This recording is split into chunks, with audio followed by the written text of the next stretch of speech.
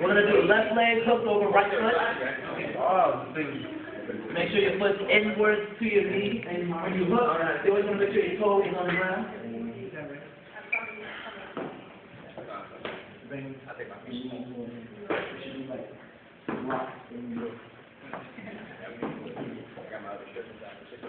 And we're gonna set, you're gonna take your left leg to set the front. You're going to do, you're gonna take your right leg, sweep it across the front.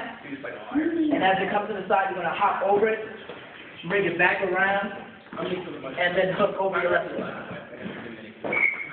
We're gonna do that one more time.